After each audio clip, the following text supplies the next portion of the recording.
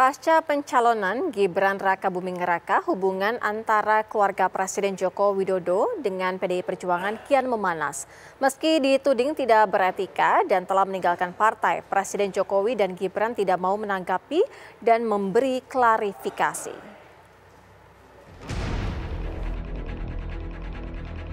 Majunya Gibran Raka Buming Raka menjadi calon wakil presiden memicu memanasnya hubungan keluarga Presiden Joko Widodo dengan Partai Demokrasi Indonesia Perjuangan (PDIP).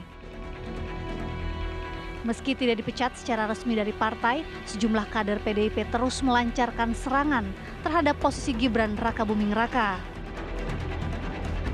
Bukan hanya Gibran yang disasar, bahkan keluarga Presiden Joko Widodo juga dituding telah meninggalkan partai yang membesarkannya. Waduh, ya kan? Bagaimana Pak Jokowi, Mas Gibran, Wong Solo dinilai demikian, ya, sangat tidak patuh dan tidak santun dan tidak bermoral karena meninggalkan partai dan Ibu Mega misalnya. Ini yang saya sebut toxic relationship tadi. Ya. Ini ajaran Sopo, yang dulu kan tidak begitu. Ya kan? Kesedihan itu pasti ada, tapi kita nggak akan cengeng banteng nggak cengeng. Banteng, banteng ketaton itu langsung bergerak. gitu. Jadi uh, kita tidak dalam romantisme kesedihan, tapi kita harus berjuang. Dituding tidak tegak lurus dengan partai, Gibran Raka Buming Raka justru mengaku telah meminta izin dari tim pemenangan Ganjar Pranowo.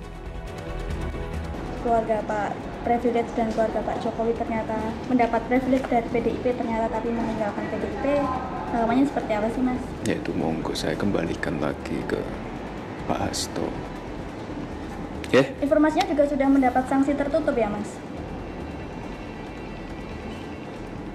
Teman-teman media, kan saya sudah berkali-kali bilang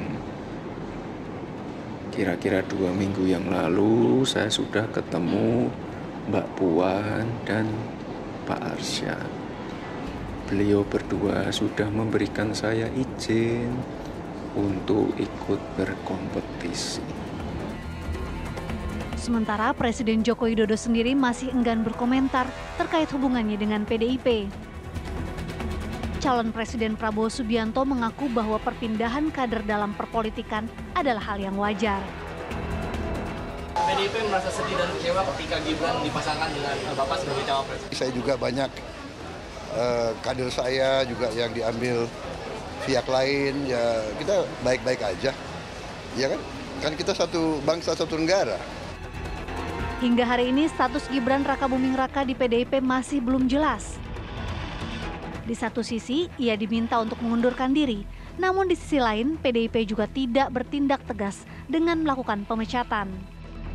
Tim TV One mengabarkan.